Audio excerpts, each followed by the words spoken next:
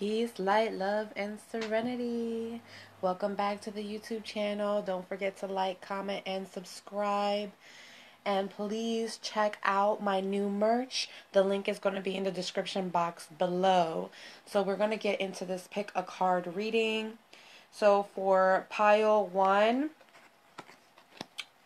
we have energy. All right. So your focus on in the next 24 hours is your energy. Um, so this could be protecting your energy, grounding your energy. I was picking up a lot of channeled messages about planning, your stability, your finances, maybe um, some situations regarding your family members, um, your friends, or friends that you consider your family members. So I'm seeing a lot of root chakra energy, a lot of solar plexus energy. Um, not that much um, sacral chakra energy, but I feel like there could be some cleansing there for some of you that needs to be done because they're saying that now. But I don't feel like that's going to apply to a lot of you. So now I'm going to move forward and see what you're going to be focusing on in the next 24 hours. All right. So definitely your energy, revitalizing your energy and all of that. Let's see what else we get here. Wow. All right.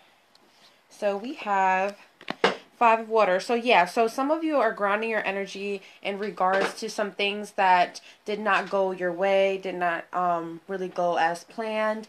I'm also kind of seeing um, the energy of maybe some friendships that didn't go that didn't go uh, according to plan. But I'm also kind of seeing a relationship that you keep working on that is not really giving you um, your full chalice, right? Um, let's see here. Wow, yeah, Ace of Cups. So definitely the energy here within the next 24 hours is letting go of disappointments, grounding yourself, um, accepting why those things did not work out emotionally for you, and starting to focus on your own um, healing, your own self love, your own energy, uh, revitalizing yourself, probably grounding yourself emotionally also, because I'm seeing a lot of water here, right? And um, the energy is kind of that fire. So that fire and water kind of gives me that aspect of you need to really balance yourself. Um, we have the Knight of Earth here. So the Knight of Earth is also about um, your commitments. Are you overcommitting? Are you overcommitting to the point that you're disappointing other people, disappointing yourself? You're you have too many um, high expectations. So really grounding your energy and making a plan. I'm hearing um, to move forward. And then we have the Page of Fire. So yes, so you're able to be more um, directional in the the way you want to go. Okay, let me see what else we have here. We're going to see what your love affirmation is for the next 24 hours.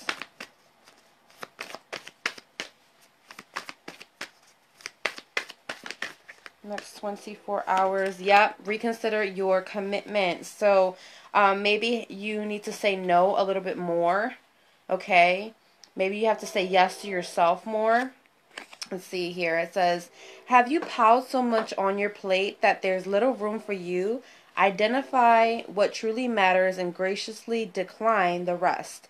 There's a universe of meaningful opportunities on the other side. So say no. In fact, every no makes space for the perfect yes. Your freedom is closer than you think. So, again, that root chakra energy um, also can be your sense of freedom, your security, um, what you feel when it comes to limitations, right? Um, let me see here.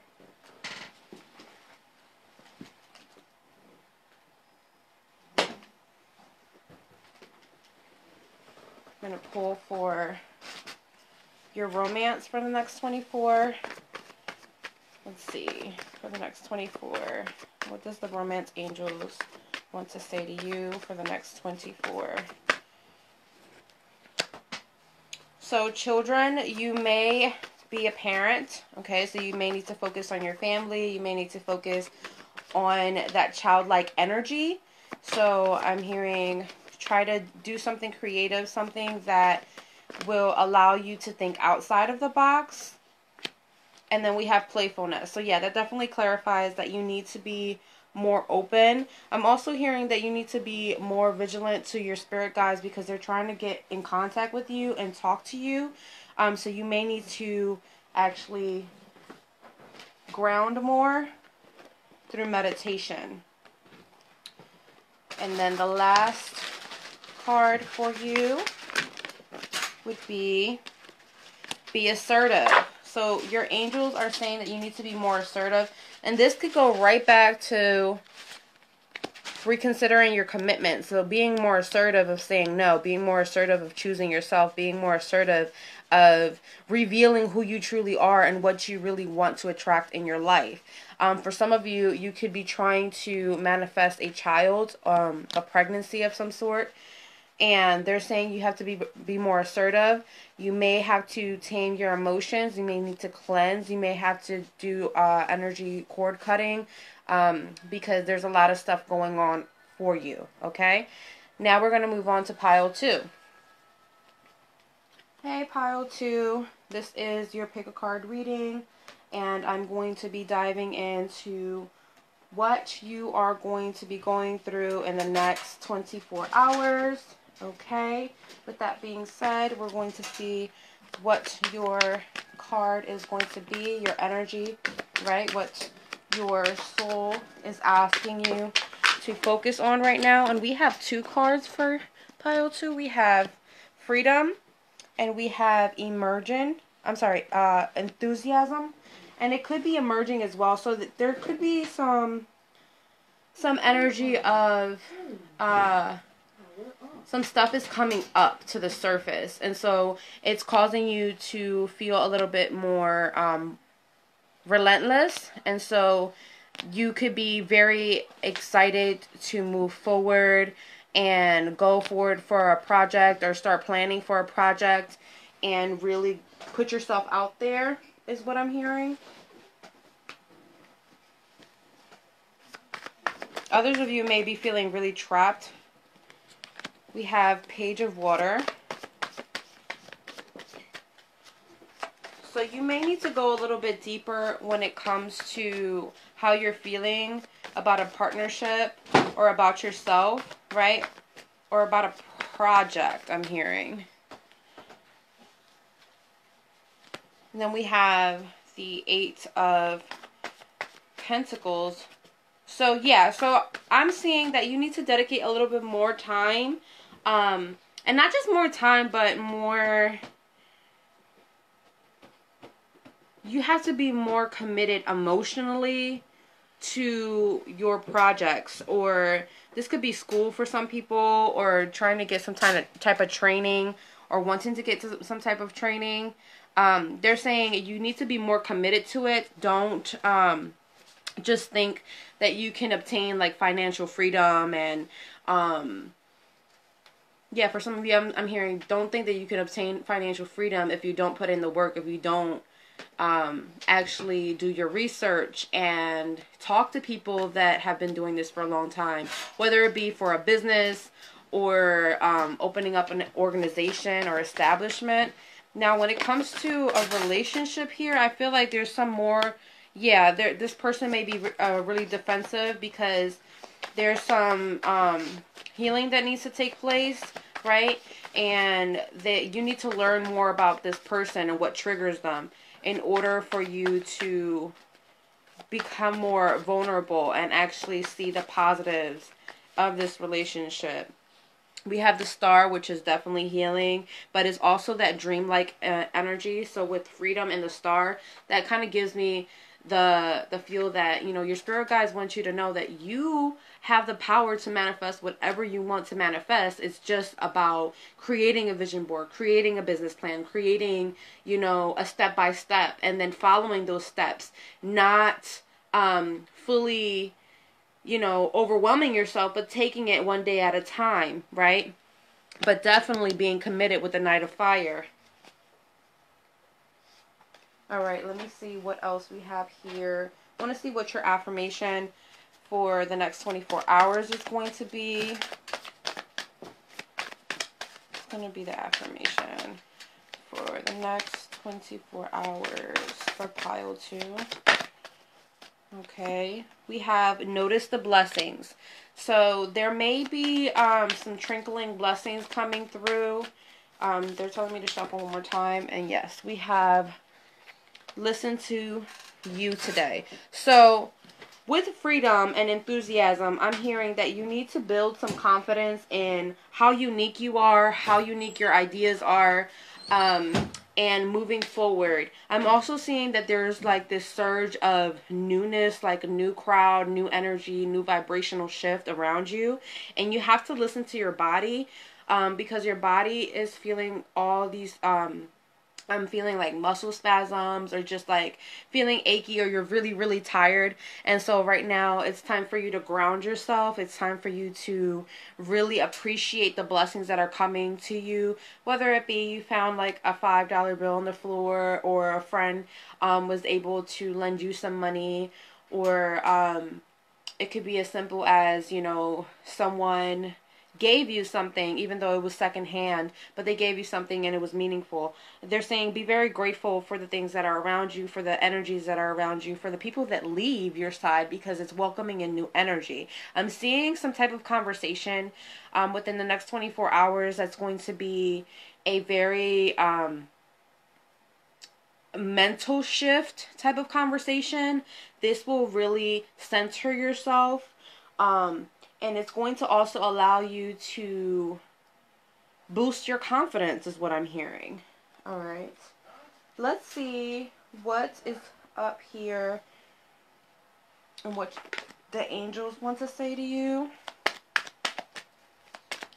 And this is a perfect time to ask a question. So if you want to pause the video, pause the video and ask a question. And the angels will give you an answer. All right, we have look for a sign abundance. So I was picking up a lot of money energy, a lot of like business, like organizational, um, maybe even like a small business type of energy. And they're saying you need to look for a sign. And, and this might be the sign. This you clicking on this video and watching pile two is your sign. This is your sign to manifest everything that you want when it comes to abundance. Create that vision board um, do those affirmations, do those meditations, um, allow yourself to be an extension of the universe and create just as the universe can. God bless you. And then the bottom of the deck is meditation brings answer. So this definitely needs um, some energy of meditation here for, for y'all. Let's see, what else? What does the Romance Angels want to say for pile two for the next 24 hours? The Romance Angels for pile two. What's up with romance? Okay, so we have three different scenarios here, and they can kind of merge a little bit, but I kind of feel like for the first scenario, if you are not in a relationship and you're single, this is you trying to manifest and bring in a particular person, um, whether it be your spirit guide, your spirit guides, um, whether it be an actual relationship, whether it be actual funds, right? Um, or this could be an actual person like an ex that you're trying to manifest to bring back in order to get in a relationship with. The other um, one that I'm seeing is if you're actually in a relationship, I'm seeing um, the relationship is going to be mended. I'm seeing that things are going to heal. Um, I'm seeing that the the connection is not only going to mend, but it's going to mend better um, or uh, faster if this energy of past lovers or past life contracts are severed um, once they are severed, then you'll see that the relationship will end up deepening and ending, uh, end up going to a higher level of commitment. Um, going to see if anything else comes out here. Yes. The last card we have here is trust, right? And again, we have free yourself at the bottom of the deck, and, and next to that is codependency. So we did have free yourself in the beginning. Let me see.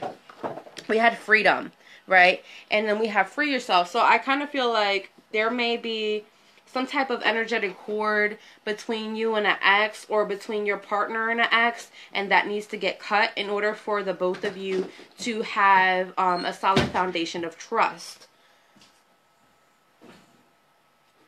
Now,